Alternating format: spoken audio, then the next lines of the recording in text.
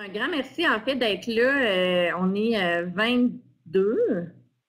On est 22, fait que c'est quand même, quand même impressionnant. C'était une rencontre aussi qui n'était pas prévue dans la communauté, mais a besoin de moi, Cathy et les autres, tout en se parlant, on a besoin de se voir, on a besoin d'échanger.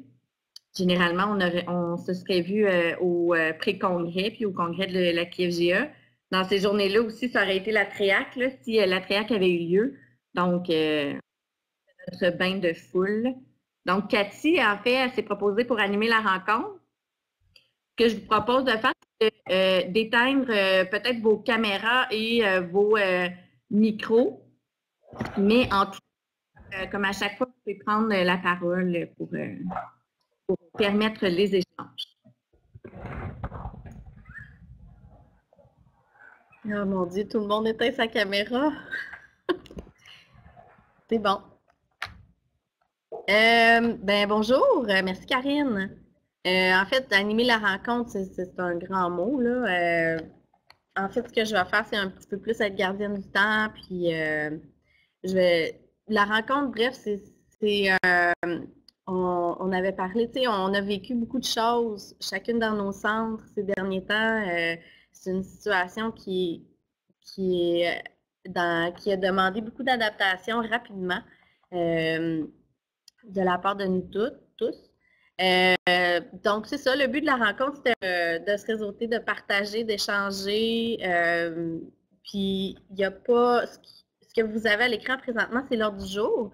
Euh, donc, si ça va, ben, on commencerait en fait avec la parole est à vous. Comment ça va? Est-ce que vous avez euh, comment vous vous en sortez dans vos centres? Comment ça s'est passé pour vous là, euh, les dernières semaines? Je ne sais pas s'il y a quelqu'un qui veut qui veut commencer à partager un peu comment tout ça s'est organisé.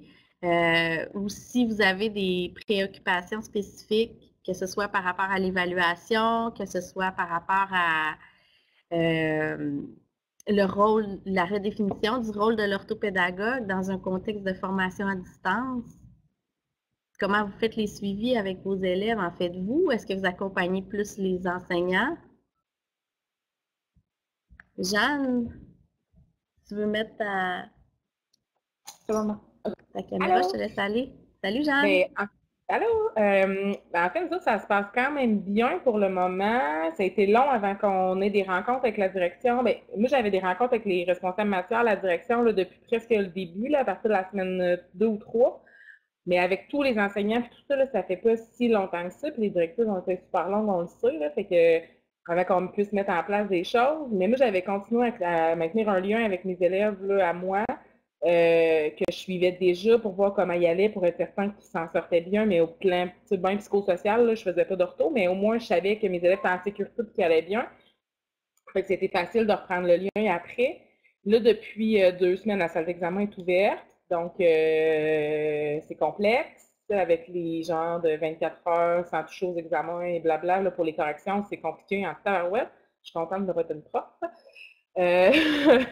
Moi, je fais beaucoup de soutien prof, là, parce que les profs sont, ils sont un peu démunis par rapport aux élèves, puis euh, comment on fait ça en visio, puis tout ça. Fait que je parle avec beaucoup, d'enseignants, mais je parle aussi beaucoup avec des élèves. Je fais des, procédures avec eux, on fait des modelages beaucoup, de certaines choses, on valide les mesures quand ils sont à la maison, ils partagent leur écran, ça, ça marche pas, ça, ça marche. En fait, je fais du soutien des, euh, des mesures techno aussi beaucoup. Puis nos élèves, on leur prête des portables. On une on a une flotte de portables et d'iPad tout à l'école avec les mesures dessus. Fait que là, les élèves qui n'en ont pas à la maison peuvent en emprunter au centre quand on leur fait signer un contrat de prêt tout ça. Fait que ça a permis à des élèves de pouvoir travailler de la maison avec l'Exbar, avec Antidote, parce qu'il n'y avait pas d'outils techno chez eux. Fait que là, ben, ça leur permet de travailler. Là, j'ai justement, j'ai comme je suis partie un petit bout parce que mon directeur m'a appelé pour un, prêt de portable, justement, pour savoir euh, si l'élève avait des mesures ou pas, quelle sorte de portable il prêtait. Fait que ça se passe quand même bien. Les profs, il y a des profs qui sont très, très proactifs. Là, ce qu'on se rend compte, c'est qu'il faut aller chercher beaucoup, beaucoup, beaucoup, beaucoup les élèves.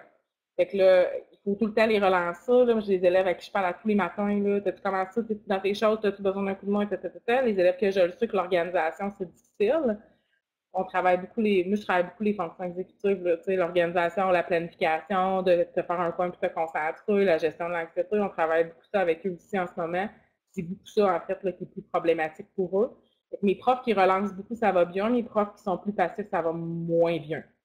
Mettons, ils ont moins de questions puis ils ont moins d'élèves qui suivent, mais on a beaucoup de notes d'examen à rouler. Là. Fait que ça se passe bien. c'est bon. Puis tu disais que, tu sais, dans le fond, avec tes élèves, ce que tu fais, c'est que tu fais les suivis, tu les appelles ou. Euh, ben, on fait beaucoup de vidéos, on travaille avec Meet. Fait qu'on fait beaucoup de, rencontres Meet. Là. Tous les enseignants ont des classes Meet, fait qu'ils sont toujours branchés sur leur genre de cours. Fait que, euh, on fait les profs ont toutes des classes Meet. Fait que là, des fois, je rencontre un élève avec un enseignant, je me branche dans sa classe Meet. Moi, j'ai un local Meet aussi. Fait que je suis moi, je, suis tout le temps rejoignable de, de, 8 à 2 ou de 10 à 4, tout dépendant des journées, parce que mon, mon poste est à 25 heures. Fait que soit je parle avec les enseignants dans leur classe, soit les élèves viennent me rejoindre. Des fois, on passe par Facebook aussi. Là, fait qu'il y avait des élèves avec qui c'est plus facile par la, vidéo Facebook. Puis il y en a avec qui je parle au téléphone aussi, ça arrive, mais souvent, souvent, c'est en vidéo. Parce qu'on peut partager l'écran, parce que je peux voir ce qu'ils font, parce qu'ils peuvent voir ce que moi je fais aussi, c'est plus facile. En fait, une des préoccupations, en fait, Jeanne, euh, qui, a été euh, relevée sur le compte Facebook, c'était euh, toute la, la des, des, tâches. Tu sais, Là, on est un peu sollicité un peu partout, puis on sait que dans nos mandats d'ortho, on a un, bout de soutien aux enseignants puis de soutien euh, euh, aux élèves. On est aussi multidisciplinaire, fait que souvent, on, travaille un peu euh, l'ensemble des matières ou du moins plusieurs matières. Est-ce qu'il y en a qui se sont donné des trucs d'organisation ou quoi que ce soit? Tu sais, toi, tu as, identifié des plages pour répondre aux élèves, mais je, je sentais la semaine passée là, sur le groupe d'ortho a un, certain essoufflement. comment vous faites pour, euh, pour être là euh, et pour les élèves et pour euh, les enseignants dans vos différents mandats? Ben, ben, je peux le faire, parce que je laisserai la parole à quelqu'un d'autre, que je suis déjà là. Moi, j'ai fait, moi, j'en aurai 25 heures, fait là, on a décidé que du lundi, le lundi, mercredi, vendredi, j'étais dispo téléphone, courriel, Facebook, pro, de 8 à 2, puis le mardi, jeudi, c'est de 10 à 4, comme aujourd'hui, je suis dispo de 10 à 4 avec un heure de dîner là, où je suis semi-dispo, mais je suis là pareil. Tu sais, que les enfants, des fois, je suis un peu plus dispo, des fois, je le suis moins, ça dépend comment ils filment, mettons. Mais euh, là-dedans, je suis toujours disponible. Par contre, je ne suis pas toujours en ligne avec un élève ou avec un prof. Fait tu sais, je prends des rendez-vous comme là, ma journée de demain est pleine.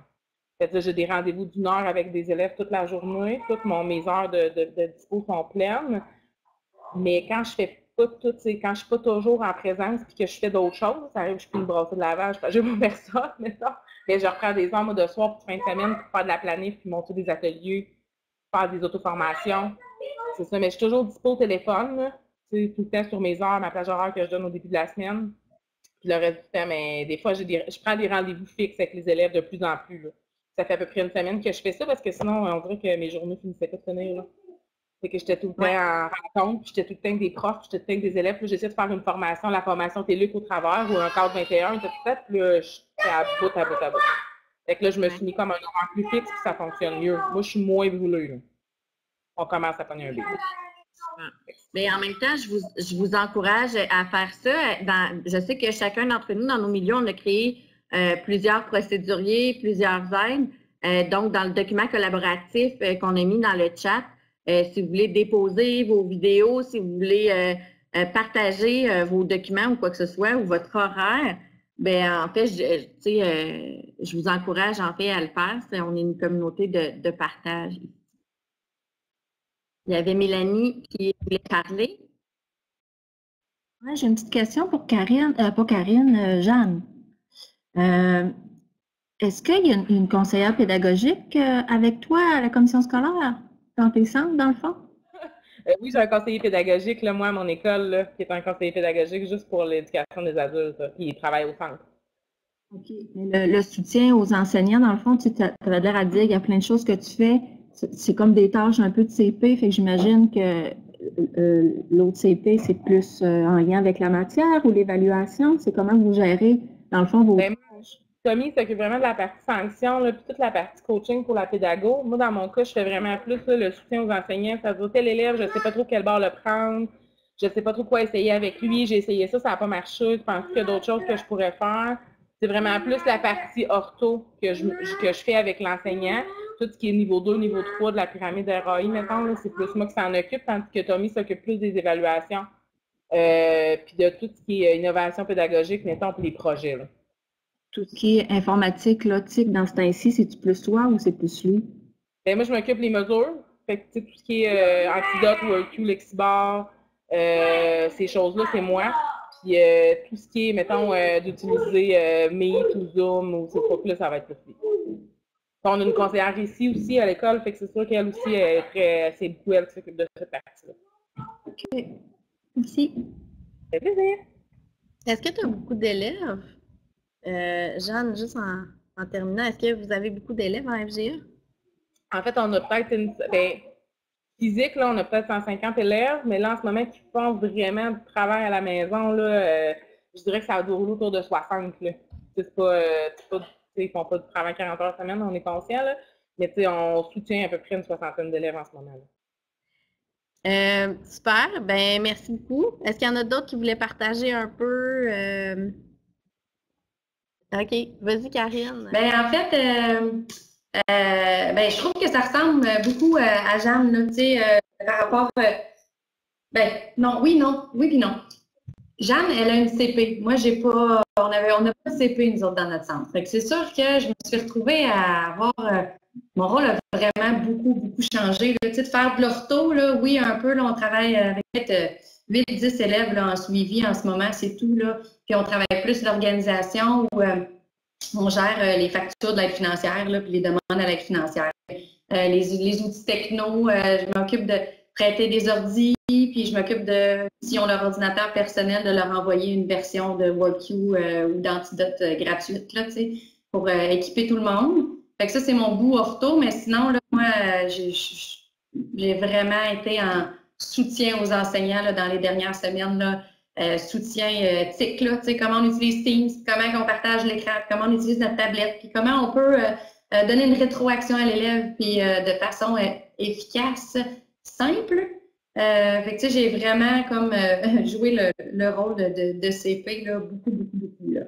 Est-ce que tu fonctionnes beaucoup par téléphone aussi ou plus en vidéo? Comment, qu'est-ce qui fonctionne le mieux pour toi? C'est compliqué, c'est sûr que moi, là, on veut nous autres, on a la, suite Office 365, là, fait que c'est sûr que Teams beaucoup, mais les élèves ne euh, sont pas euh, si à l'aise. Euh, c'est sûr que ça finit oh, finalement on en contacte un sur Messenger, puis finalement, ben là, je vais te donner mon numéro de téléphone cellulaire, ça va être plus facile. Puis finalement, un peu de tout, je te dirais. Du, Messenger, je me, me suis pas ouvert un compte Facebook professionnel, j'y ai pensé. Euh, mais tu sais, j'ai peut-être trois élèves, là, trois élèves sur Messenger. Sinon, il y en a qui me contactent directement sur Teams, d'autres par courriel, d'autres euh, au téléphone, puis d'autres, ben, on laisse un message puis ils nous rappellent jamais. Fait que, j'imagine c'est la réalité partout. Là. Fait que, euh, on donne un rendez-vous la veille au soir, ils nous disent oui, oui, je vais être là à 9 h, puis ils sont pas là. M'en t'appelle, ils sont encore couchés. fait que l'organisation, là, moi, je pense que c'est ce que je vois qui est vraiment le plus, plus, plus, plus, plus difficile quand j'écoutais Jeanne tantôt de dire ah, appeler les élèves le matin pour. Euh, ah, je trouvais que c'était comme une bonne idée. Avoir un horaire fixe, moi, j'ai zéro horaire fixe. Hier, à 9h30, quelqu'un me posait une question. Là, Genre, euh, là, je retiens ça de Jeanne, de dire peut-être me donner un horaire parce que sinon, on en fait tout le temps, tout le temps. Là. 7h30 à matin, mais à 9h30 en soir aussi. Fait que ça ressemble à ça. Là. Allô, Nathalie? Euh, Alexandra mentionne aussi le compte Facebook professionnel, ça fonctionne super bien. Euh, chez nous aussi, on fonctionne beaucoup avec ça. Nathalie aussi. Euh, ouais. Ben, est-ce que, est-ce que tu veux poursuivre là-dessus, Nathalie? Euh, donc, la COVID, la COVID FGA.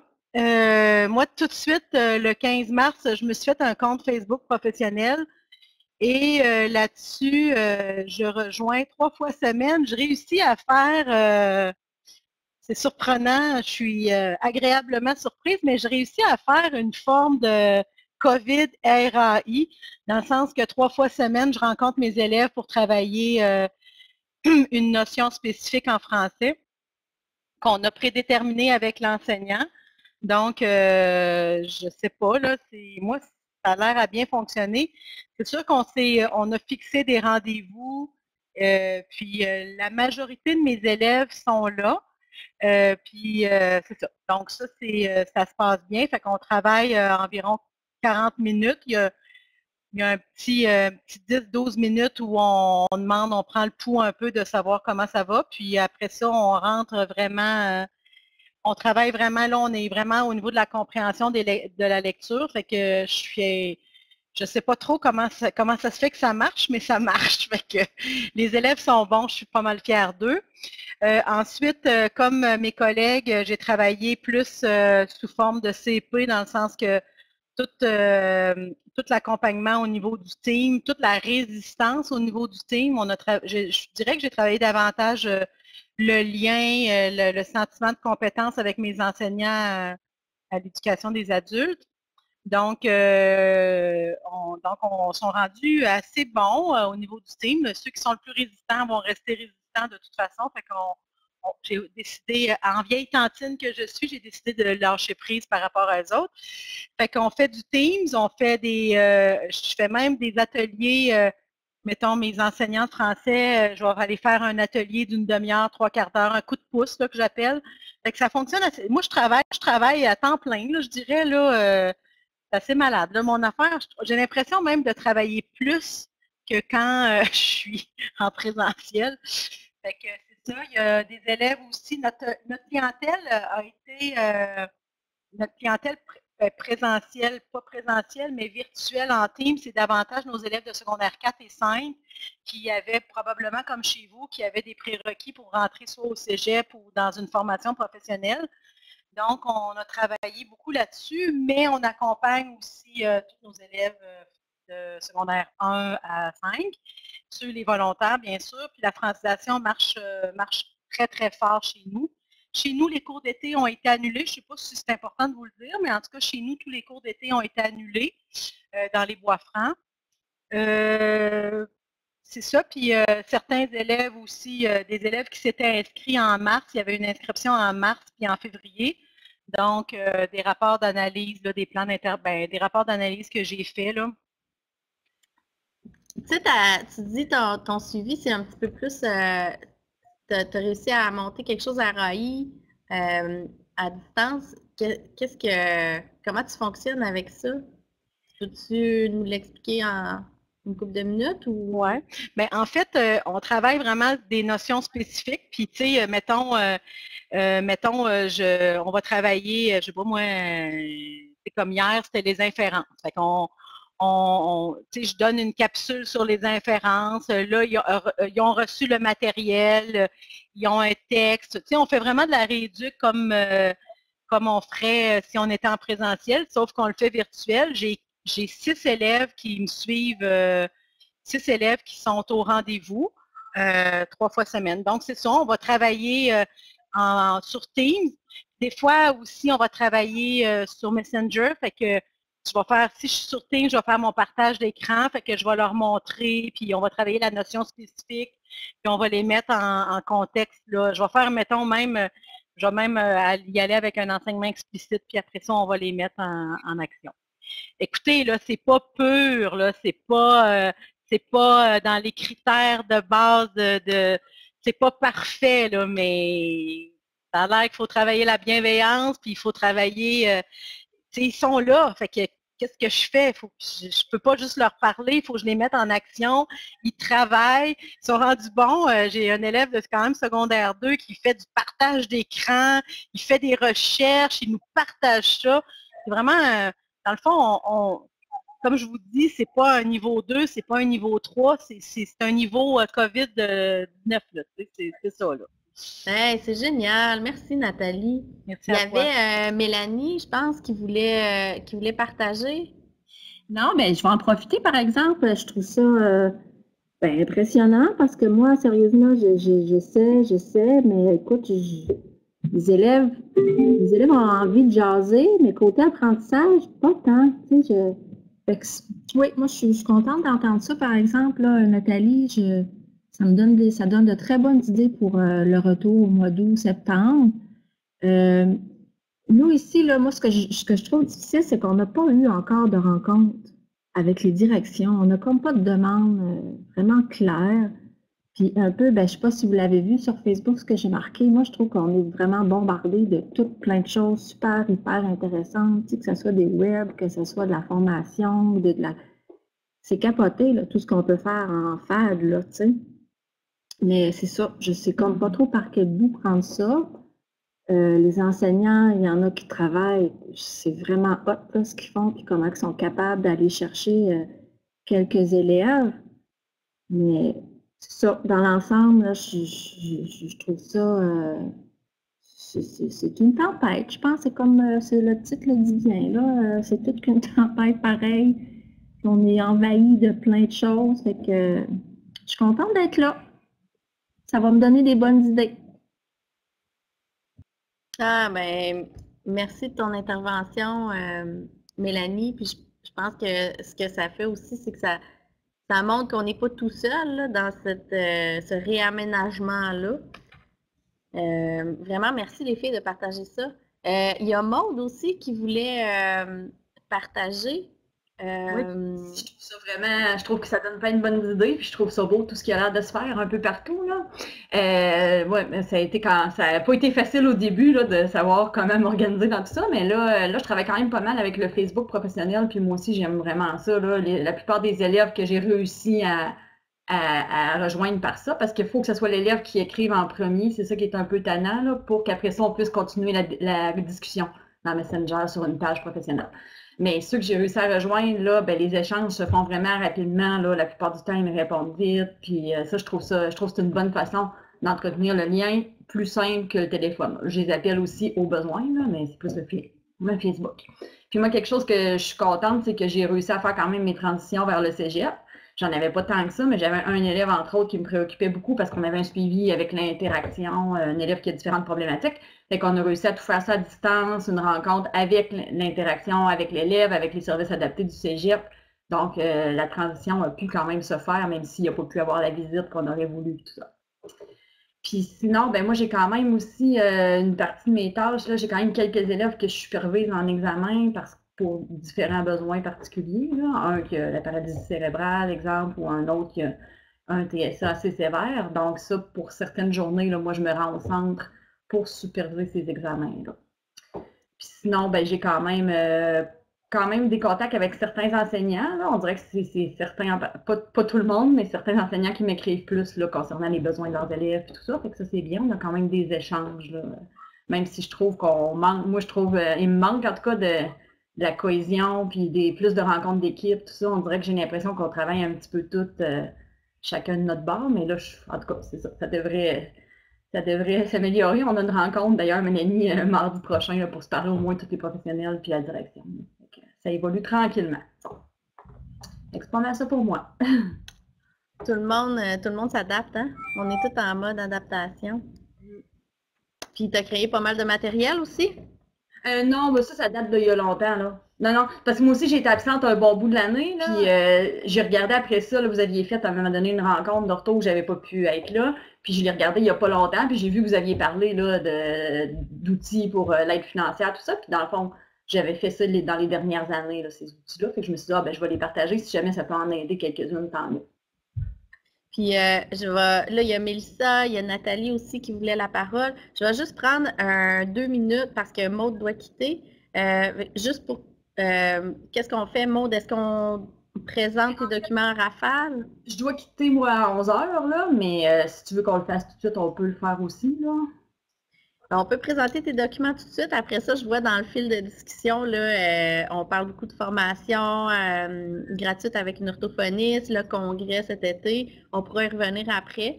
On peut prendre un 5-10 minutes pour présenter tes trucs. C'est vrai, moi j'aurais une question aussi, là, parce que j'ai vu qu'il y avait des orthos qui ont fait des super capsules.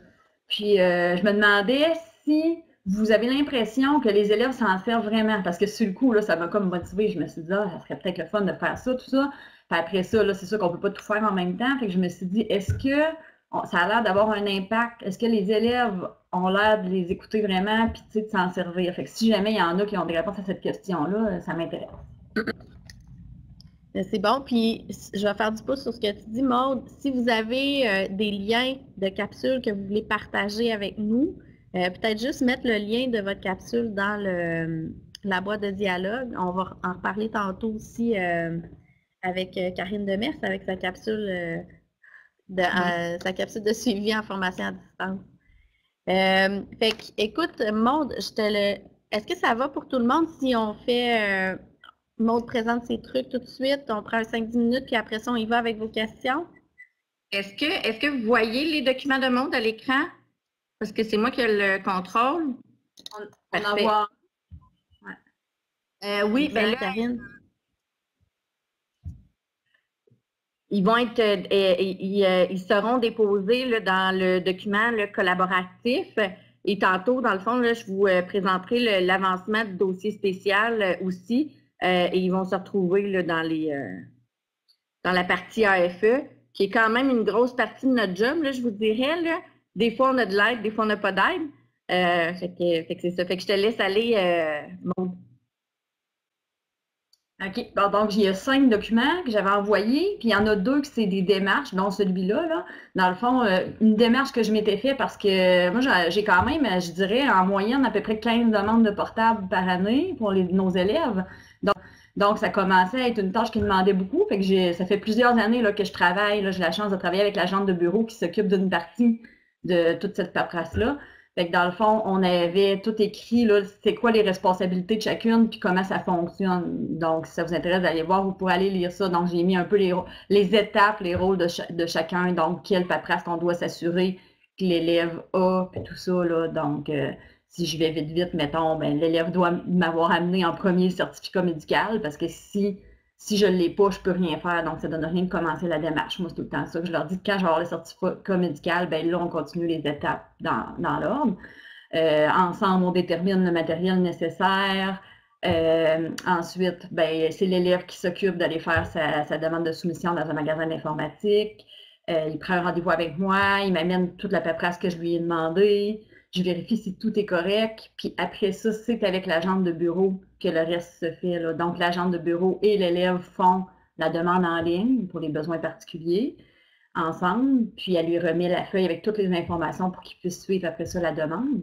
Puis après ça, ben là, moi, je reviens plus dans le décor euh, une fois que, que la demande a été acceptée, que l'élève a son matériel, puis pour que là, je m'assure, dans le fond, qu'il est capable de l'utiliser, que tout est correct, tout ça.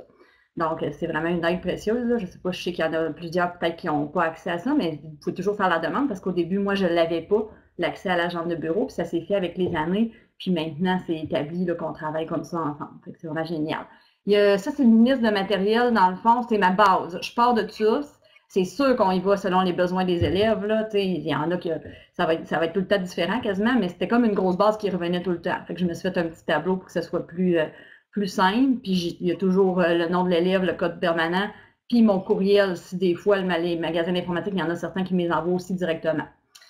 Euh, donc, c'est ça. Puis l'autre, euh, ça, ça en fait trois. Il y avait un autre outil, j'ai pas revu s'il y avait déjà passé. Ah oui, c'est ça. Ça, c'est ce que l'agente de bureau remet à l'élève, dans le fond, avec tout ce qu'il faut. C'est tout écrit pour qu'après ça, ça soit facile pour l'élève d'aller sur le site puis suivre où en est l'état de sa demande. Donc, l'élève a toujours ça entre les mains. Puis finalement, le dernier document, c'était vraiment quelque chose de très simple, mais c'est parce que moi, j'ai quand même, euh, depuis quelques années, j'ai presque tout le temps un élève qui a besoin d'accompagnement. Donc, je m'étais fait un petit tableau pour. Euh, puis d'ailleurs, il y a une démarche, là, vous l'avez vu au début, là, mais il y a vraiment une démarche spécifique euh, pour casser de l'accompagnement parce qu'il y a quand même des choses différentes un petit peu de, de quand des demandes de portable, pour ce qui est des. donc, vu que ça implique une aide euh, humaine, finalement, quelqu'un qui vient accompagner l'élève. Donc, je n'avais fait une particulière. Puis ça, c'est juste comme le, un petit tableau que j'utilise pour que les personnes, dans le fond, et l'élève et l'accompagnant signent au fur et à mesure toutes les heures qu'ils font pour pas qu'on perde comme le contrôle. C'est un peu une façon de compter les heures et s'assurer que tout est correct à la fin. Mais c'est pas moi qui gère ça, c'est l'accompagnante euh, avec l'élève, mais j'en prends des copies après ça qu'on peut qu'on garde au dossier. C'est excellent ça permet en fait aussi euh, aux autres, euh, centres de voir un petit peu qu'est-ce qui se fait, euh, qu'est-ce qui fait, qu'est-ce qui se fait aussi. je sais que j'ai vu des gens, le Karine, Alexandra ou quoi que ce soit, qui disaient qu'il y avait d'autres documents. je trouverais ça le fun de les mettre dans le document collaboratif parce que c'est un, un gros dossier, en fait, l'AFE, le calcul des heures, quoi que ce soit, qui va se faire. Puis là, on va rentrer beaucoup dans le, calcul des contrats qui vont être à recalculer. Ce qu'on a eu comme nouvelle, c'est que l'AFE continue à payer jusqu'à la fin de l'année scolaire pour les heures de présence classe. Donc, pour les accompagnateurs et interprètes, nous, le mot d'ordre a été de, continuer et de calculer le nombre d'heures fait de, de, cours et non pas les services qui sont à côté. Là, moi, j'en ai qui ont de la difficulté à, manger ou quoi que ce soit, fait qu'il y avait des heures de surplus de classe. Euh, donc, euh, donc c'est ça. Fait que des, tableaux de calcul ou un travail collaboratif avec les c'est quand même important dans ce, dans ce dossier-là. Maud, tu voulais-tu euh, tu voulais -tu rajouter d'autres choses? Non. Par rapport à, tes documents? Moi, j'avais fini. Ben, juste dire que, bien entendu, c'est, je les ai fait pour moi, ces outils-là, pour nous, dans mon centre. C'est pas genre un modèle à, suivre, mais c'était juste pour donner des exemples de comment nous, on s'organise là-dedans ces années-ci. Bon. Euh, c'est super gentil, Maud, de, nous les partager. Il y a Alexandra aussi là, qui va partager quelque chose. Alexandra, je te, je te contacterai. On mettra ça, tous ces documents-là. Euh, on va pouvoir euh, mettre ça sur le site des après-cours. Euh, Michel, je te laisse aller. Oh. OK. Alors, dans le fond, nous, on se posait la question, Nathalie André et moi, à savoir un élève qui arrive du secteur des jeunes puis qui a une mesure 3810 et que son matériel n'est plus à jour, qui est désuet, qu'est-ce qu'on pouvait faire avec ça? Est-ce qu'on pouvait faire une, refaire une demande au 3810, c'est en, en, continuité? C'est sûr que si l'élève a plus de 21 ans, c'est, ça fait, dans le fond, la mesure 3810, là, c'est entre 16 et, 21 ans.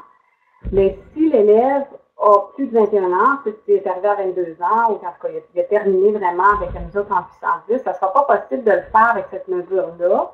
Mais ce qu'elle nous disait, c'est sûr qu'on peut passer à l'AFE. L'AFE, le, le, le, hic avec l'AFE, c'est que les outils que l'élève, euh, ben, il y a deux choses. Il y a une chose qui est très positive, c'est que l'outil appartient à l'élève. Donc, il peut l'utiliser comme il veut, il peut l'amener chez lui, il peut l'avoir l'été, euh, il n'y a, comme pas de, de restriction par rapport à l'outil.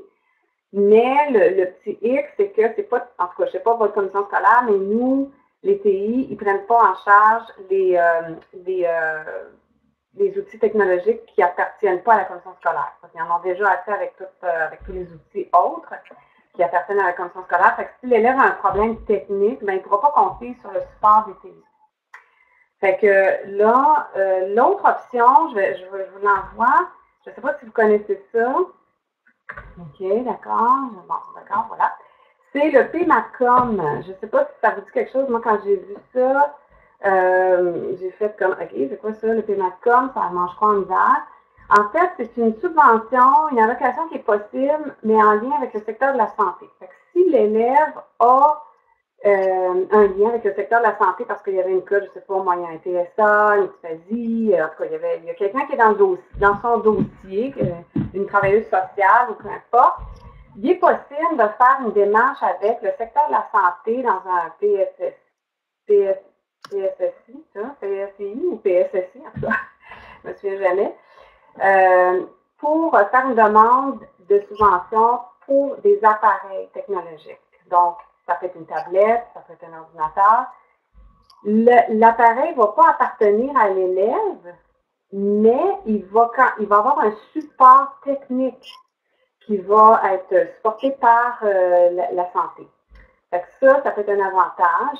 Puis, ben, euh, je pense que quand même l'élève a une certaine liberté avec son appareil, étant donné que c'est la santé qui lui fournit l'appareil, l'élève le prend avec lui puis l'utilise euh, autant chez lui qu'à l'école ou au centre.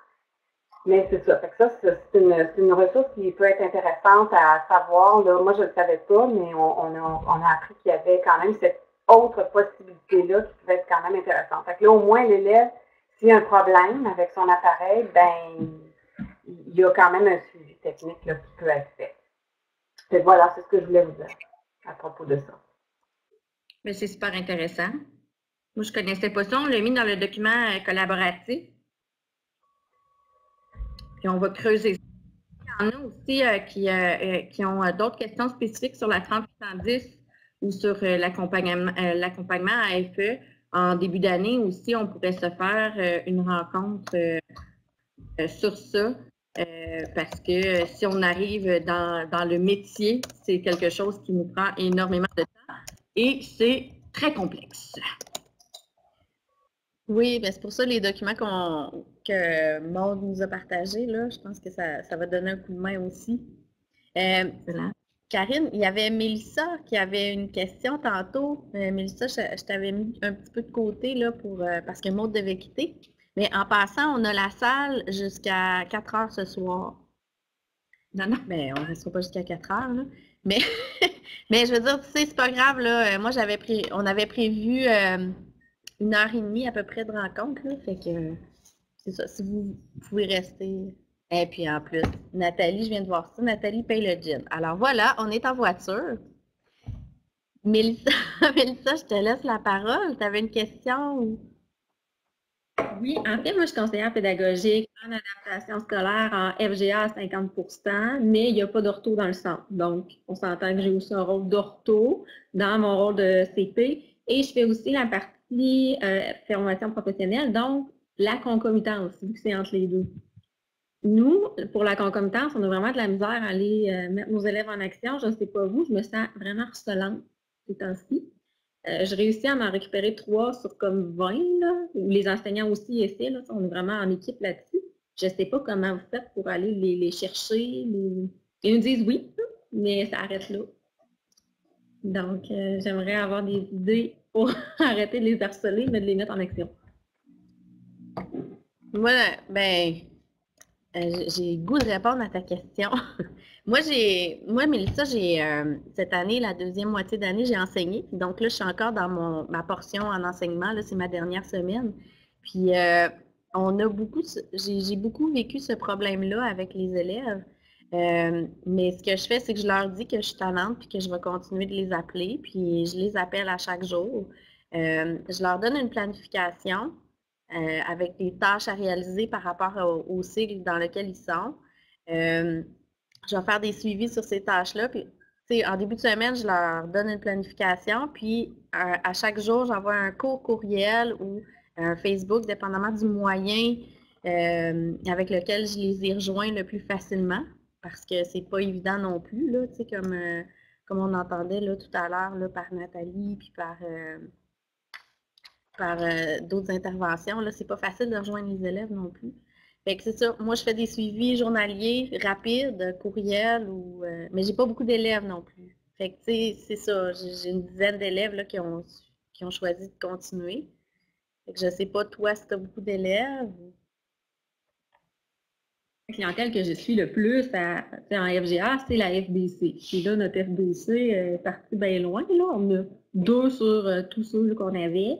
Puis, je suis beaucoup la concomitance qui est de la FBD.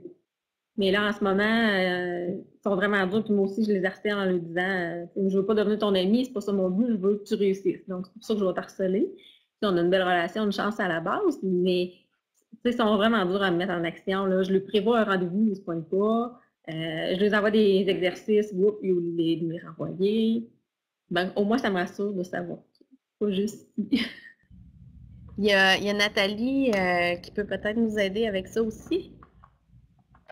Ben, euh, en fait, je ne sais pas ce qui se passe ici, là, mais nous, nos élèves, moi, mes élèves en concomitance mécanique auto, j'ai donc 24 élèves, 22 élèves et euh, ben, nous, ils viennent faire de la mécanique chez nous. Ils, sont dans le centre, ils viennent travailler euh, la mécanique.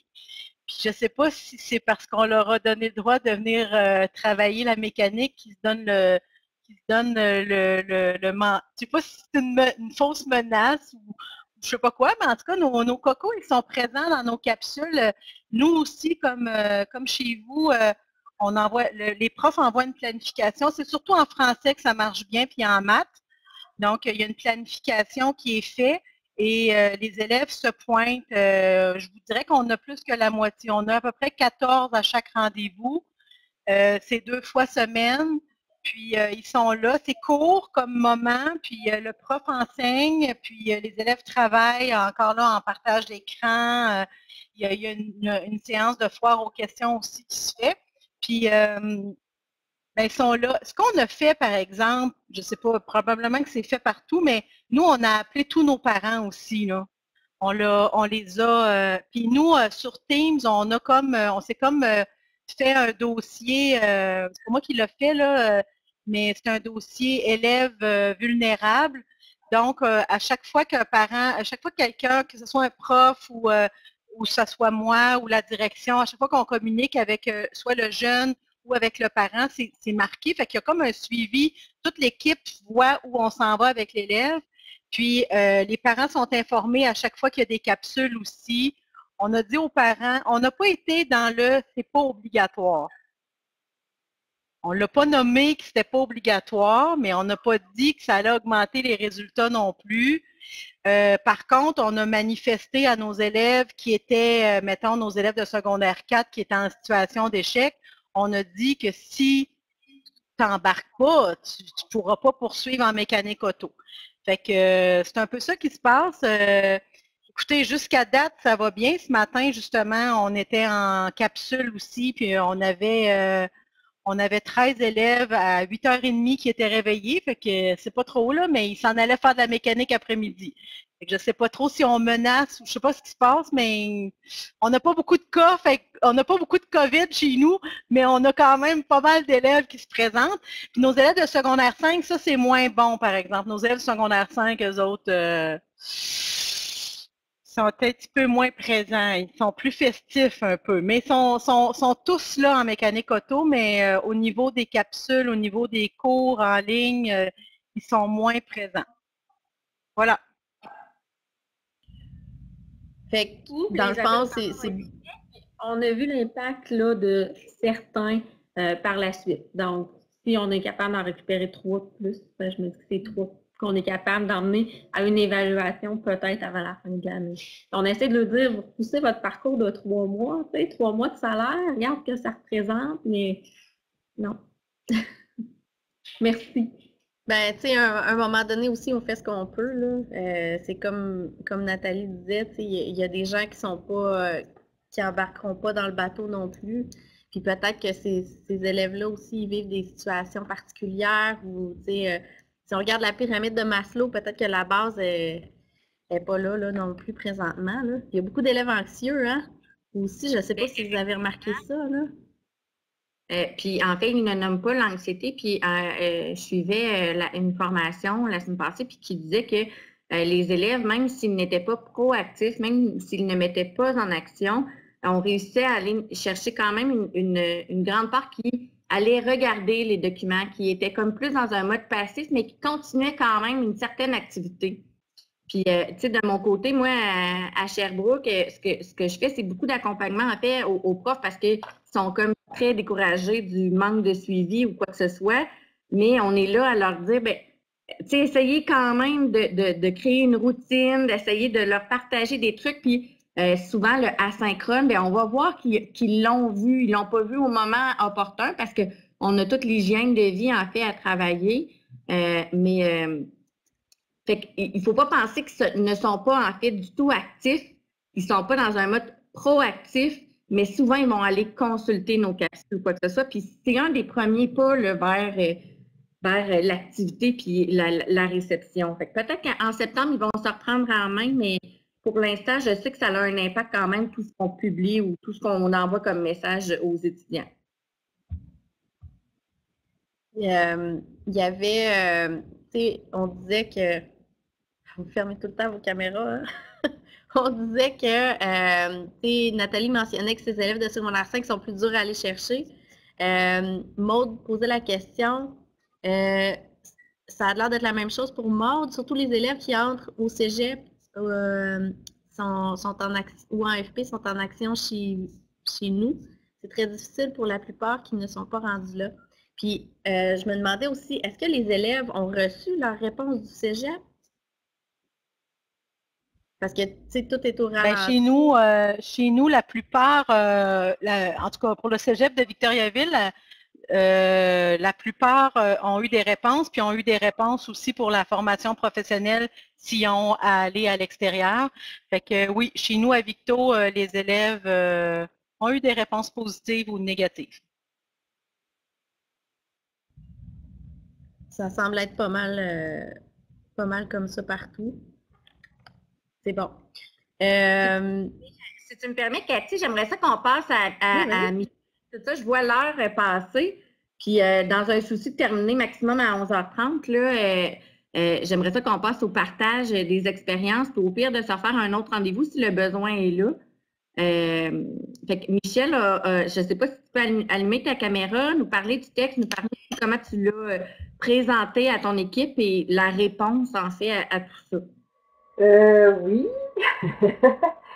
en fait, c'est drôle parce que ce, texte-là, je l'ai pondu, on dirait que ça, ça, a comme cogité pendant plusieurs semaines. Puis d'un coup, pouf, ça a sorti suite à une conversation que j'ai eue avec une, amie qui est enseignante au primaire. Parce que je trouvais justement qu'elle, en tout cas, elle, me donnait l'impression, le, sentiment qu'il y avait beaucoup d'anxiété derrière ce qu'elle me disait. Il y avait de la résistance aussi par rapport au passage vers l'enseignement en ligne. Puis, sais, c'est normal, avec des petits kids de 6 ans, peut-être en première année, puis, il y avait beaucoup d'inquiétudes. Puis elle me disait aussi qu'elle avait une de ses copines qui était aussi enseignante, qui elle aussi était beaucoup dans l'anxiété, qu'elle n'avait pas dormi de la fin de semaine. Elle se disait Ouais, mais là, les parents vont me voir enseigner. Puis là, elle était super inquiète, tu sais. Euh, alors que, bon, paraît-il, je la connais pas, cette, autre fille-là, mais paraît-il que qu'elle est super. Euh, une super bonne enseignante. Et moi, depuis le début, depuis le début de la COVID, depuis le début du confinement, J'entends beaucoup, beaucoup, beaucoup parler des élèves. OK? Comment vont les élèves? Est-ce qu'ils sont anxieux? Est-ce que est-ce qu'ils vont vouloir recommencer? Puis là, on en discute depuis tantôt, puis on voit là, tu sais, qu'il y a des élèves, c'est difficile d'aller les rechercher. Puis oui, il y a de l'anxiété. Puis d'ailleurs, j'essaie de vous partager depuis, depuis tantôt un lien. Il y a un super bon article là-dessus qui explique pourquoi les élèves ont de la difficulté actuellement à se remettre en marche, à se remettre en branle dans leurs études, puis pourquoi nous-mêmes aussi, c'est difficile pour nous de garder notre attention. ça, c'est vraiment intéressant. Je vais essayer de, le déposer. Sinon, ben écoute, je, l'enverrai à Cathy ou à Karen par euh, courriel, puis vous le déposerez. Euh, concernant, je reviens à mon document. Concernant ça, donc, moi, ma, ma préoccupation, c'était oui, mais c'est vrai, les élèves, les élèves, mais les enseignants, ils vont comment? comment ils se sentent, c'est quoi là. Tu sais, je suis conseillère pédagogique, hein, fait que c'est sûr que hum, c'est peut-être une déformation que j'ai, je suis moins en contact avec les élèves. Euh, je suis beaucoup en contact avec les enseignants, puis ma préoccupation, c'est d'essayer de, de, faire un suivi avec, euh, avec les enseignants le plus possible. Mais c'est ça. Donc, mon questionnement, c'était, mais comment ils vont, eux, comment ça se passe dans leur tête? Puis suite à la conversation avec ma copine, ben c'est ça que ça a donné. Fait que dans le fond, moi, ce que j'avais envie de dire comme message, c'est écoutez, soyez bienveillants avec vous. Vous avez le droit de ne pas vous sentir à l'aise. Vous avez le droit de, résister à ce passage-là. Vous avez le droit de sentir que c'est pas si évident. Puis non, vous n'êtes pas tout seul. Puis non, c'est pas vrai que ça se fait comme ça. Tu sais, je suis dans ma classe avec mes petites, ma copine me disait, oui, mais comment je vais faire? Moi, j'aime ça les avoir autour de moi, j'ai comme une façon de faire pour les accueillir. J'ai dit, c'est vrai. Et ça, c'est ton idéal. Mais il faut que tu changes ton paradigme, il faut que tu changes de façon de voir les choses. comment tu pourrais recréer une intimité autrement, même si tu es en ligne. Fait que, donc, c'est ça. Ça a donné ça, ça a donné ce, document-là. Puis je me base sur le ciné toujours. Je, reviens toujours au ciné de, de, Sonia Lupien parce que je trouve que c'est tellement parlant, c'est tellement. Euh, en tout cas, moi personnellement, je trouve que c'est une bonne façon d'aborder toute la notion du stress. Euh, et c'était en même temps pour démontrer, mais regardez, là, vous avez sur les quatre facteurs du ciné, qui sont les facteurs euh, de, de, de, la, de la, qui génèrent le stress, ben, les quatre facteurs sont présents. C'est normal de se sentir, c'est normal de se sentir anxieux, mais une fois que ça s'est dit, qu'est-ce que je peux faire? Fait que c'est ça. donc, ça, c'est comme ça que ça, ça s'est passé. Puis, euh, mais bon, fait qu'il m'est venu comme, pratiquement, il m'est venu comme trois principes. Donc, enseigner en ligne, c'est pas comme enseigner en classe. Donc, il faut faire le deuil de ça, il va falloir penser autrement, puis je voulais donner comme des quelques exemples en disant, ben ça, ça s'applique plus, ça, ça s'applique plus, ça, va falloir que ça soit adapté. Donc, déjà, avoir des exemples de ça. Ensuite, le, le puis il y a toujours, il, venait toujours comme un conseil en tête, un conseil bienveillant. Après ça, je me suis dit, ah, il y a comme un autre conseil qui vient, qui me vient à l'esprit, qui serait peut-être un petit conseil plus avisé. Fait qu'à chaque, à chacun des principes, fait donc le conseil avisé, ne vous attendez surtout pas à retrouver les mêmes conditions parce que vous risqueriez d'être grandement déçu. Puis le conseil bienveillant, ben, c'est de prendre le temps de faire le tour d'horizon pour lister ce qui serait différent si vous deviez enseigner à distance. Donc, prenez le temps de réfléchir. si vous aviez enseigné une nouvelle matière ou une nouvelle, vous, le feriez, vous prendriez le temps de vous asseoir avec le programme, vous prendriez ce temps-là pour le faire. Pourquoi pas le faire pour euh, l'enseignement en ligne? Ensuite, le deuxième, c'était plus, euh, ça concernait plus, je pense, je ne sais pas, je n'ai pas le document, je l'ai, euh, qu'avant d'enseigner en ligne, il faut accepter d'apprendre, c'est ça. Donc, je redeviens apprenant. Oui, j'étais peut-être un super bon enseignant dans ma classe, mais c'est parce qu'il y a plein de gestes que je pose de façon spontanée. J'ai même pu me poser les questions, mais maintenant que je suis en ligne, je suis obligée de me re-questionner par rapport à ça pour euh, retrouver un certain confort, une certaine aisance. Puis toujours avec le conseil avisé, le conseil bienveillant. Puis ensuite, le dernier, c'était plus en lien avec le lien, justement, le lien d'attachement. Comment je peux créer le lien, mais il faut penser que ce lien-là, je vais devoir le créer autrement que de la façon que je suis habituée en présentiel. Fait que là, ben, je donnais quelques exemples de qu'est-ce qui peut être fait. Euh, puis, euh, et surtout de, de, de dire, ben, écoutez, lancez-vous pas dans l'aventure d'enseignement en ligne sans être préparé. Vous devez vous préparer. Donc, essayez de, de le faire de façon euh, quand même agréable, en, par exemple, vous pratiquant avec euh, un collègue, des amis, en essayant de comprendre aussi la plateforme que vous utilisez, comment elle fonctionne, c'est quoi toutes ces possibilités, puis qu'est-ce que je peux en tirer, moi, pour agrémenter l'enseignement. Fait que, en gros, c'est ça, c'était pas plus que ça, mais chose certaine, je l'ai déposé dans trois, oui, je l'ai déposé dans la, communauté d'orthopédagogues, mais je l'ai aussi déposé dans une nouvelle un nouveau groupe qui s'appelle Le monde de l'enseignement en ligne ou virtuel, quelque chose comme ça, qui est un groupe d'enseignants, plus spécifiquement, c'est plus des enseignants qui sont là. Mais moi, j'ai été acceptée parce que je suis dans le monde de l'éducation. On peut en faire la demande. Il y a vraiment plein de choses là-dedans qui sont intéressantes. Il y a beaucoup, beaucoup de commentaires de la part des enseignants, ce qui vivent tout ça. Puis j'ai vu que ça, le, document avait été vu par, je pense, je sais pas, là, genre 120 personnes, dont plus d'une quarantaine m'ont fait des commentaires, dont une qui me dit Écoute, c'est venu tellement me rassurer, ça a fait descendre la pression. Je pense je vais me l'imprimer, puis chaque fois que je vais sentir l'anxiété monter, je vais le regarder, ce document-là, pour faire baisser la pression. Fait que je pense que c'est ça. C'est important de se rappeler que oui, il y a les élèves, mais il ne faut surtout pas oublier que les enseignants ont aussi besoin d'être rassurés, de, sentir qu'ils ont un, soutien euh, bienveillant. Fait que voilà. C'était ça que je voulais vous dire. Merci beaucoup, Michel. C'est un, texte qui fait du bien, puis c'est un texte qui amène aussi euh, une autre perspective par rapport aux enseignants. Euh, ce texte-là, il va être disponible sur euh, le site des après-cours. Karine nous a mis aussi le lien là, par rapport au groupe duquel tu parlais, là, dans la, la boîte de dialogue juste à côté. Euh, s'il n'y avait pas d'autre chose, on pourrait terminer le partage avec euh, Karine, ton document sur la formation à distance. Euh, Michel nous a parlé de bienveillance envers les enseignants. Karine va nous parler de bienveillance envers les élèves, un petit, d'une manière un petit peu humoristique, mais très pertinente. Je te laisse la parole, Karine. Ben, en fait, c'est qu'au début, là, dans les premières semaines, tout le monde disait, ben non, on, laisse les enseignants contacter les élèves. Toi, t'attends, toi, t'attends. Mais là, moi, attendre, ceux qui me connaissent, je peux pas attendre. Fait que là, je me suis dit, qu'est-ce que je pourrais faire?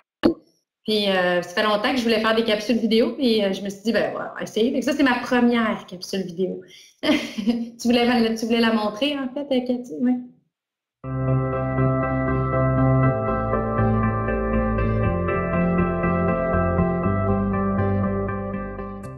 Tu reprends ta formation à distance? Alors voici ce que tu dois prévoir. Évidemment, tu as besoin de ton cahier d'apprentissage, puis de crayons, d'une efface, de surligneur, bref, euh, ton matériel habituel. Si tu as besoin d'un outil de référence comme un dictionnaire et que tu n'en as pas, tu peux consulter le document joint à cette vidéo qui te donnera quelques ressources en ligne. Tu as aussi besoin d'un cahier de notes. Il est toujours important de prendre des notes, mais c'est encore plus le cas aujourd'hui alors que tu ne sais pas quand tu pourras passer ton examen. Si tu veux éviter de devoir reprendre ton cahier du début, il vaut mieux te laisser des traces pour faciliter ta révision avant ton évaluation. Afin de communiquer avec ton enseignante ou ton enseignant, tu auras besoin d'un téléphone, d'un appareil mobile ou d'un ordinateur. Selon la méthode discutée entre vous, tu auras probablement à l'appeler, lui écrire ou aller le rejoindre sur Teams. Tu auras certainement des questions à poser à ton enseignante ou à ton enseignant. Si tu peux le faire immédiatement lorsque vient la question, c'est super. Mais si ce n'est pas le cas, il faudra te prévoir une méthode. Tu peux utiliser des post-it que tu colles dans ton cahier. Tu peux plier le coin de ta page, te faire un symbole dans la marge ou encore utiliser un code de couleur dans ton cahier. Ainsi, lorsque tu seras en communication avec ton enseignante ou ton enseignant, tu auras plus de facilité à retrouver les questions à lui poser. N'hésite pas à poser tes questions. Tes enseignants sont là pour toi. Fixe-toi un horaire de travail. Eh oui, sans une routine, il te sera difficile de garder le cap. Tu trouveras toujours une excuse pour ne pas t'y mettre. Choisis donc un moment dans la journée où tu t'obligeras à t'asseoir et à travailler. Donne-toi une durée, ni trop courte ni trop longue, question de rester productif. Et surtout, donne-toi un objectif quotidien. Tu verras que ton travail progressera plus rapidement et tu en seras fier. Enfin, installe-toi dans un endroit calme sans télévision, avec ou sans musique, c'est au choix, selon tes besoins et ta concentration. Si tu as des enfants, hmm, euh, fais-les disparaître. mais non, je blague. Mais tu peux consulter euh, ma prochaine vidéo qui pourrait te donner quelques idées pour les occuper pendant ton temps d'apprentissage. Maintenant, tu peux commencer ta formation à distance. Ça va bien aller.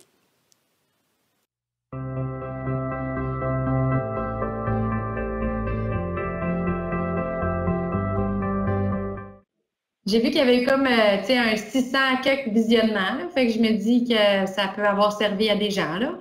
Fait que vous irez, euh, vous irez la voir. Puis, euh, Cathy, tu as retenu la partie dont on ne peut pas faire disparaître les enfants. Mais c'est parce que dans les mes trois enfants avec moi. Fait que là, je me disais, écoute, je suis capable de travailler, je suis capable de faire des choses. D'après moi, eux autres aussi. Fait que là, c'est pour, ça que j'ai mis une partie enfant j'ai remis une autre petite vidéo après, j'en ai fait une deuxième qui va avec là, pour euh, si tu as des enfants, comment t'organiser un peu.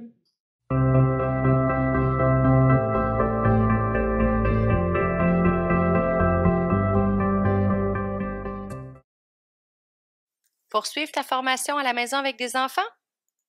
C'est possible. Étant donné que tu ne peux pas les faire disparaître pendant la poursuite de tes apprentissages à la maison. Je te propose ici quelques idées qui pourraient t'aider. Je t'assure qu'il y a d'autres solutions que de travailler de nuit.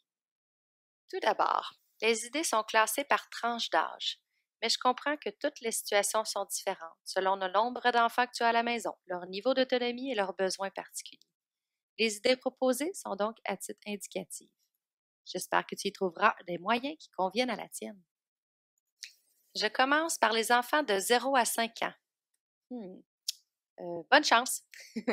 Mais non, je blague. L'idéal avec des tout petits est évidemment d'étudier pendant la sieste. L'établissement d'une routine est donc la clé. Il est aussi possible de leur créer un espace sécuritaire près de soi où ils peuvent jouer et circuler. Évidemment, les jeunes enfants ne restent pas concentrés très longtemps sur un même jeu, mais ils sont capables de s'occuper seuls pendant un moment. Pour les enfants de 6 à 12 ans maintenant, afin de les rassurer et de te permettre d'étudier le plus efficacement possible. Établis une routine quotidienne. Planifie les temps où tu pourras être disponible pour eux et les temps où ils ne pourront pas te déranger. Pendant tes moments de travail, prévois des activités qu'ils pourront faire de façon autonome. Tu peux bâtir une liste avec eux pour qu'ils aient envie de participer. Tu peux aussi consulter le document joint à cette capsule qui contient des exemples. Il est aussi possible de leur laisser une liste à cocher des tâches ou des activités à faire pendant que tu n'es pas disponible. Ils se sentiront fiers et responsables. Évidemment, tu peux prévoir de petites récompenses quotidiennes pour les féliciter du travail accompli. Enfin, pour les jeunes de 13 ans et plus, on comprend que ce ne sont pas nécessairement tes adolescents qui t'empêcheront d'étudier, car ils ont souvent besoin de temps seul. Mais il est important de garder un bon équilibre entre les moments isolés et les moments en famille. Ici, la routine est encore importante. Tu peux toutefois la déterminer avec eux pour qu'elle vous convienne à tous. Il est aussi possible de leur proposer une liste de tâches ou d'activités à réaliser chaque jour, en les laissant participer au choix, évidemment. À cet âge, il peut même être possible de partager un moment d'étude avec eux afin de vous encourager mutuellement. Peu importe l'âge des enfants, mise sur la routine, un peu comme à l'école ou à la garderie. La routine les sécurisera et te permettra de mieux planifier tes périodes d'études dans ta journée, ce qui risque d'augmenter ta motivation au moment venu. Ne te sens pas coupable de les laisser écouter la télévision plus qu'à l'habitude, mais si c'est possible, privilégie les émissions éducatives comme Télé-Québec en classe. Il existe aussi plusieurs documentaires et émissions enrichissantes sur Netflix, par exemple. Si la situation avec tes enfants est difficile et que tu as besoin de soutien, sache que la ligne parent offre un service 24 heures sur 24, 7 jours sur 7. Tu peux les rejoindre par téléphone au 1-800-361-5085 ou par clavardage à l'adresse www.ligneparent.com. Ça va bien aller.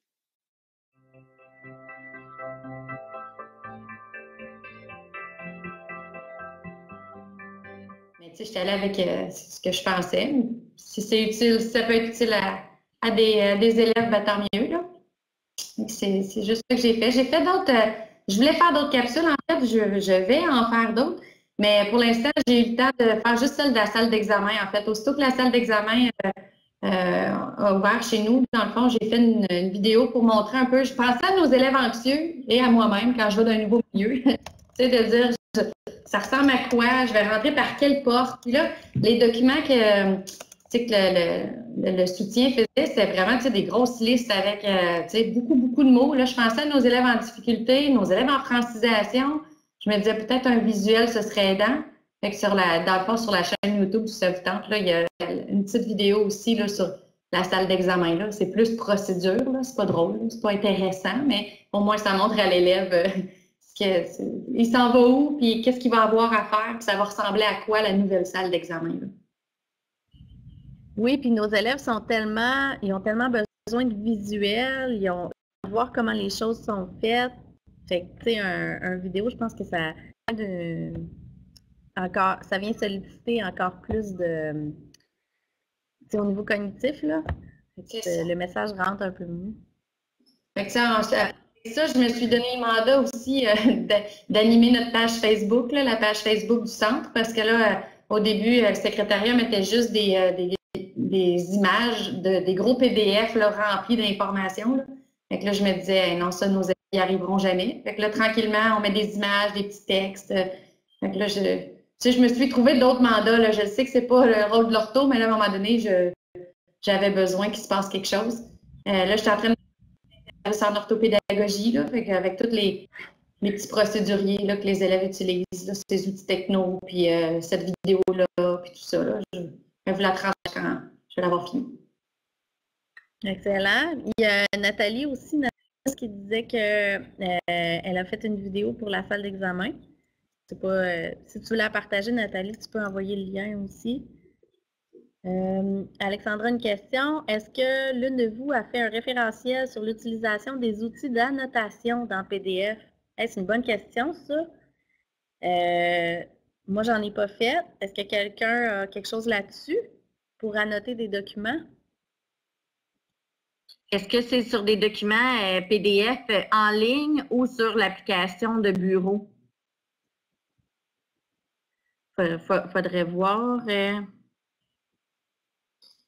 euh, mais euh, je pourrais déposer des documents. L'application de bureau, là, j'ai, je le mettrai dans notre document collaboratif. C'est un document que j'ai fait en 2015, mais somme toute, ça reste ça reste pareil dans l'option commentaire. Est-ce que je peux prendre les minutes pour présenter le dossier orthopédagogique? Parce que j'ai besoin de vous vraiment, vraiment, vraiment beaucoup. donc, je, voulais vous parler du dossier de, la pédagogie mosaïque avec Marie-Ève, Marie qui, qui, est encore là, oui. Euh, qui peut euh, se présenter la face. J'aimerais vraiment ça la voir euh, pour parler. c'est un dossier, en fait, que j'ai travaillé avec, avec plusieurs d'entre vous, mais que j'ai besoin de la participation vraiment de, de, tous les, de, tous les orthopédagogues pour avoir un point de vue là, vraiment macro sur ce qui se passe un petit peu partout. je fais le tour. je tiens à dire que le PowerPoint a été montré avec Sarah Thibault. Et euh, Sarah est en train de nous préparer présentement, là, live, un, petit euh, bébé ortho. Donc, euh, elle était supposée d'être là, mais c'est ça, l'appel de la nature le, fait. Fait que prochainement, on va avoir un nouveau bébé orthopédagogue. Karine, veux-tu mettre ta caméra? Ah, j'ai ah, j'ai pas. J'aime tellement. Euh, alors, euh, le dossier orthopédagogie, c'est dans le fond Pédago Mosaïque, si vous connaissez ça. Euh, Pédago Mosaïque, c'est une, plateforme d'auto-formation du. je vous ai mis le lien. Là. le lien ici, la, présentation va pouvoir peut être téléchargée pour que vous ayez tous les liens. Mais c'est quelque chose au niveau de la FGA, puis on, on offre plusieurs façons de euh, se mettre à jour, d'avoir des formations ou quoi que ce soit, ou des documents de référentiel. Fait que vous voyez, là, ici, là, il y en a cinq. Là.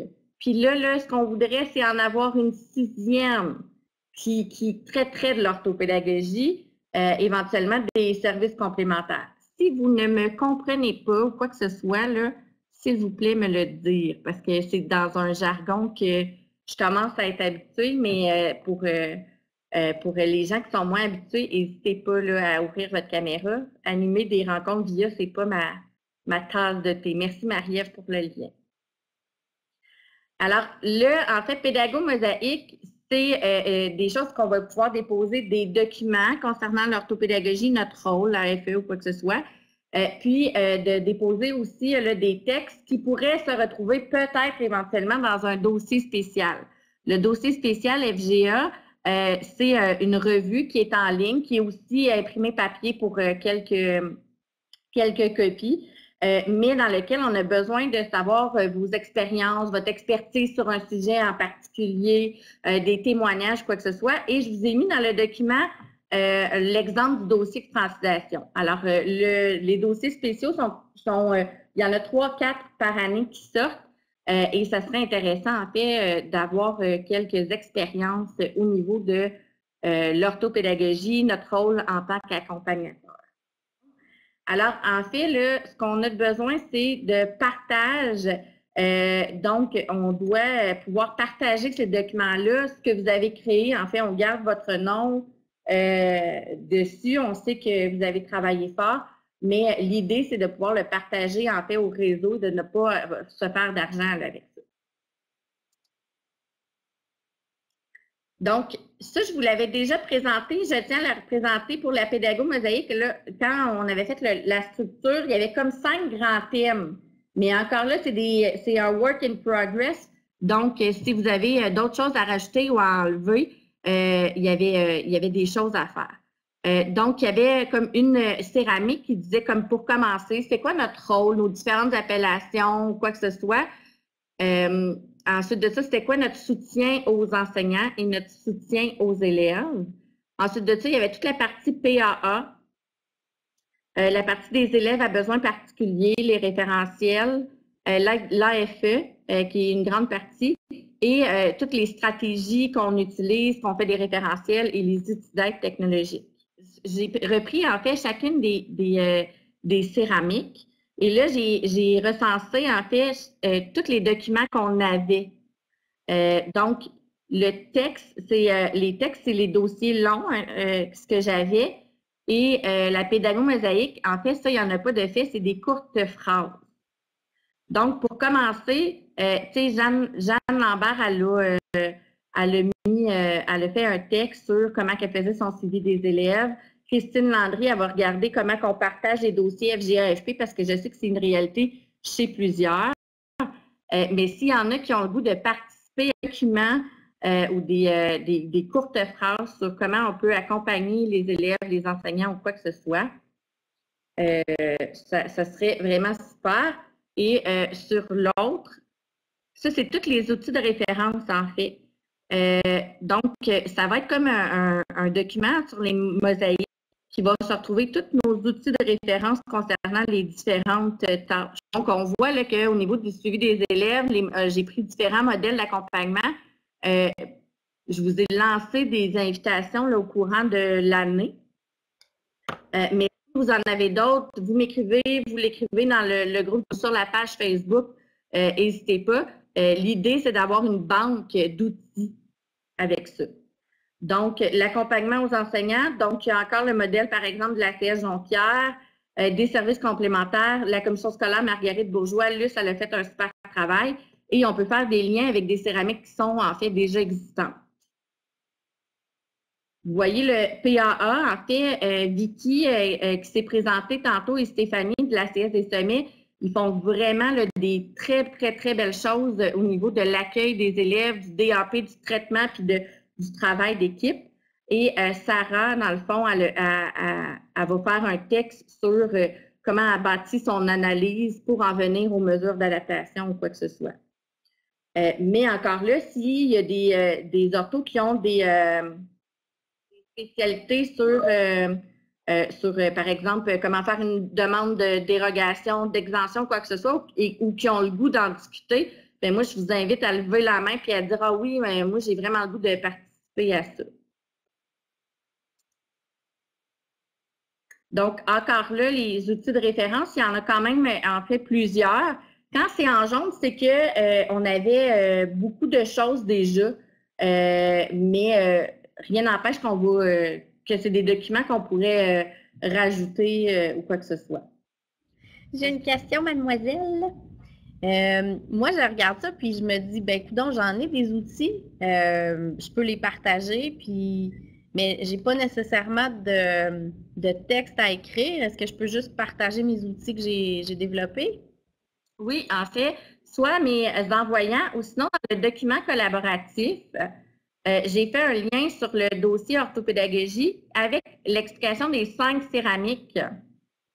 Donc, euh, je vous invite, euh, au lieu d'attendre de, partager mon écran, je vous invite à aller dans le document collaboratif, de cliquer sur le dossier orthopédagogie et là, de dire, s'il y en a qui ont le goût de dire, OK, bon, mais qui ont le goût la première colonne, s'il y en a qui sont c'est pédago Donc, s'il y en a qui veulent écrire euh, des euh, petites phrases descriptives, questions à se poser.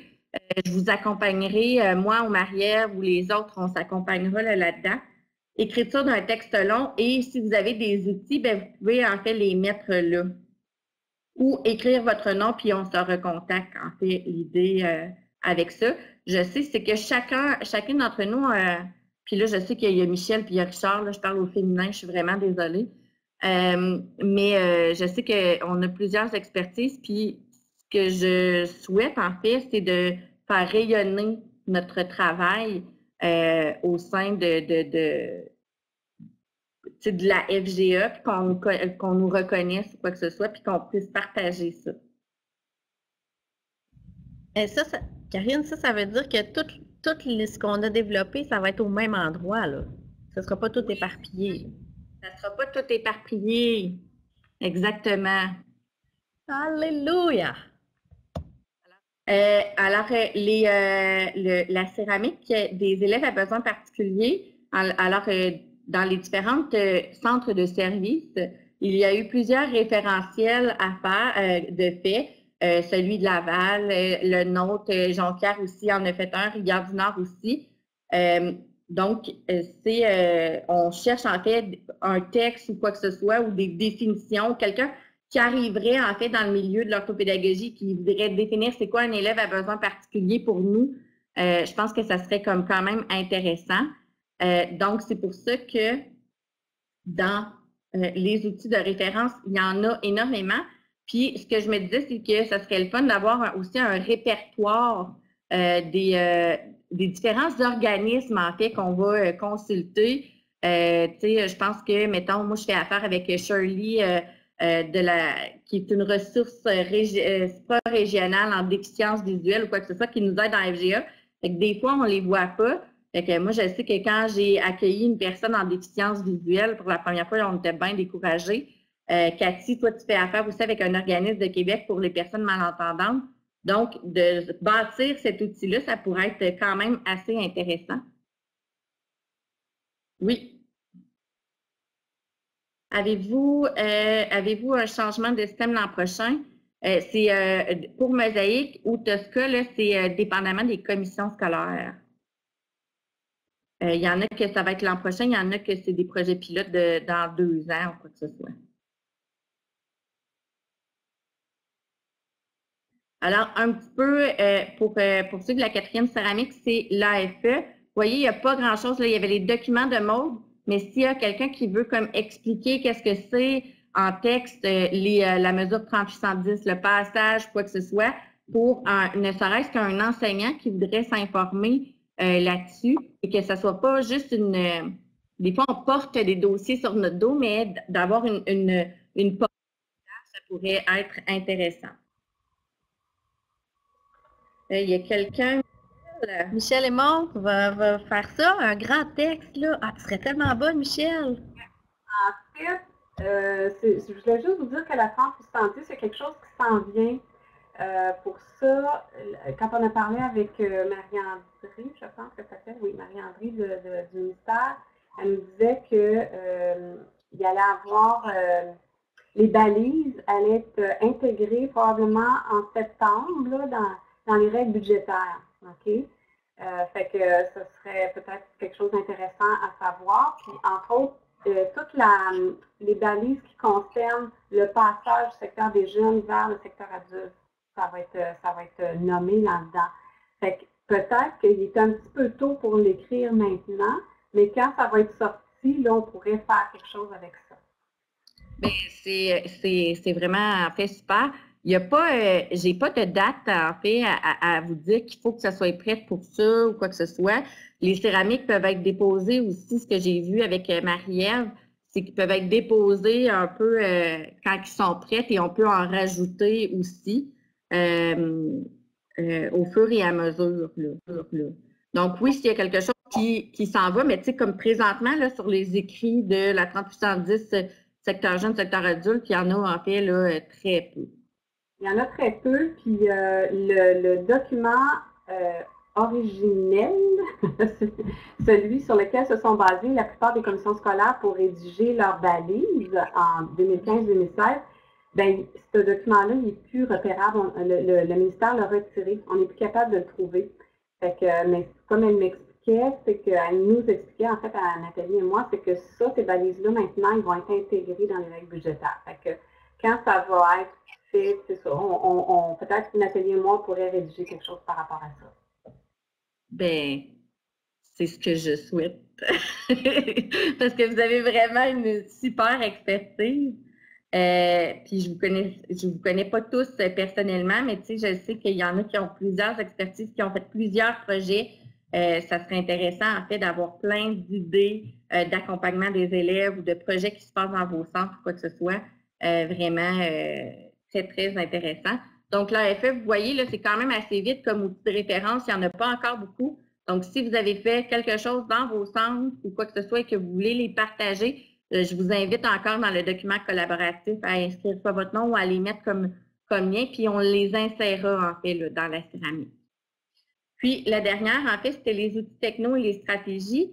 Alors, il n'y a pas encore de texte par rapport à ça, des, outils d'aide, des référentiels. La CUA pourrait être aussi euh, euh, un, bel article là-dessus, même s'il y a eu un dossier spécial CUA. puis, comme dans aucune catégorie, il n'y a pas de présentation de, court texte. Mais on a énormément d'outils de référence, mais encore là, on en cherche encore parce qu'on sait que nos contextes sont vraiment différents. Alors, euh, il y en a beaucoup. Donc, si vous avez bâti des, euh, des euh, signets de stratégie de lecture, si vous avez fait des choses pour les enseignants ou pour les élèves, mais d'avoir un, un, onglet en fait stratégie, ça va pouvoir être très, très, très utile. Alors, c'est ce que je voulais vous présenter, mais surtout ce que je voulais vous rappeler, c'est que j'ai besoin de, de vous, j'ai besoin d'inscrire votre nom à des endroits, qu'on garde en fait un contact et qu'on regarde un petit peu ce serait quoi votre participation euh, que vous pourriez faire pour qu'on puisse euh, faire rayonner euh, notre communauté. C'est tellement le fun d'entendre un projet comme ça. Est-ce qu'il y en a qui ont des questions par rapport à ça ou du moins au courant? on pourrait regarder ça. la première chose, c'est de faire en fait une tête d'aller visiter les dossiers spéciaux sur le net, ça a l'air à quoi? Les pédagogues mosaïques, quoi? Nathalie? Nathalie, pourquoi tu me prends? Euh, non, mais je peux te donner un coup de main euh, par rapport euh, au rôle de l'ortho. Nous, on a fait quelque chose l'année passée, justement, pour présenter, parce que, tu sais, un orthopédagogue, c'est nouveau dans la vie de, c'est nouveau dans la vie des gens. Donc, on a fait quelque chose, moi puis Joanie, fait que je pourrais te partager ça. Puis on avait une définition aussi qui, est, qui a été, euh, en tout cas, j'ai quelque chose par rapport au rôle. Puis euh, pour le passage aussi secondaire, euh, FGA aussi, je peux aider là. En tout cas, de toute façon, tu sais où me trouver. Puis c'est une super belle job. Bravo, ma belle. Ah, merci. Alexandra, les mandats, celles qui veulent, oui. Lucia, c'est pas grave. Le congé de maternité, on a tellement de mais tu sais, on regardera à, la, portée de ce que vous pouvez apporter, euh, mais euh, c'est un, un, dossier qui, euh, qui, qui, tient à cœur et qui va nous aider, en fait, tant dans nos centres que peut-être même en haut ou quoi que ce soit. Je sais qu'on est en développement des services complémentaires, fait qu'on a besoin de travailler, en fait, ensemble parce qu'on ne peut pas dire que maintenant les élèves à besoins particuliers ne sont qu'à la responsabilité des orthopédagogues des centres. Il faut vraiment que ça devienne une, préoccupation de tous. Et je pense que ces plateformes-là peuvent nous aider à faire euh, reconnaître euh, notre travail. Alors, euh, je vous remercie de votre attention. Et Cathy, je te laisse finir la rencontre. Euh, OK, bien à ce moment-là, je pense que ça va, ça va terminer notre rencontre. On n'est pas pire, on a tout fait ça en une heure et demie. Je vous remercie beaucoup, beaucoup, beaucoup d'avoir participé, d'avoir échangé. Euh, oui, ben, je vous souhaite une, bonne fin de journée, puis surtout un bon courage. Puis euh, je vous souhaite, qu'est-ce que je pourrais vous souhaiter? Du temps? D'avoir le temps de prendre le temps puis suite à ce que Michel a présenté aussi, euh, de faire attention à vous. Puis euh, moi, je vous trouve vraiment extraordinaire. c'est un plaisir d'animer euh, ces rencontres-là pour vous. Fait que je vous souhaite une belle fin de journée, puis un bel été, vraiment un bel été, parce que ça s'en vient. Chez vous, il fait 30, ici, il fait 18, 10, 12. Fait que, au revoir tout le monde!